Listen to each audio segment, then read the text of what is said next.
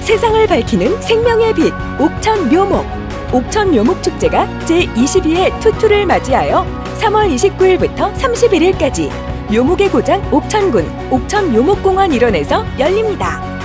민수연, 안성훈 등의 흥겨운 축하 공연과 커플, 가족 체험 프로그램 투투 이벤트, 묘목 나누어 주기 등 풍성한 식목 특별 행사가 마련됩니다.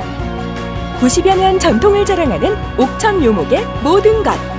대한민국 대표 우량 묘목 생산 유통단지 옥천군에서 봄의 시작을 함께하세요.